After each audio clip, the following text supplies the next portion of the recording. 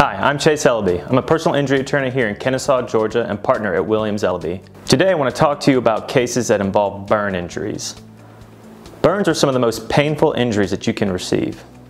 They often result in severe scarring or permanent disfigurement. In the worst cases, they can result in infection and even death.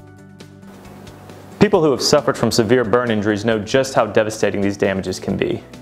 It ranges from the physical pain to the emotional trauma of having the scars. If you've received a burn injury on someone else's property or due to someone else's negligence, it's important that you seek a lawyer that knows how to handle these issues, that knows and empathizes with what you're going through. And there are a number of cases that deal with burn injuries. The most common revolve around premises liability issues. For example, if there's a gas leak and an explosion on someone's property, or if there's exposed electrical wires that cause burns. Other examples that I've seen involve hot charcoal being dumped behind a pool, chemical burns, and scalding hot water where water heaters turned up too high. Fortunately, for those of us that live in Georgia, we have several medical facilities that do a great job of treating burn injuries.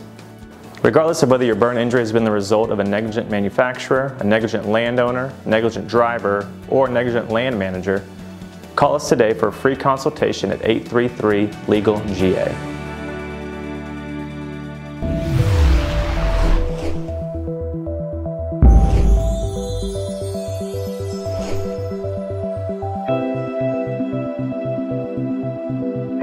Música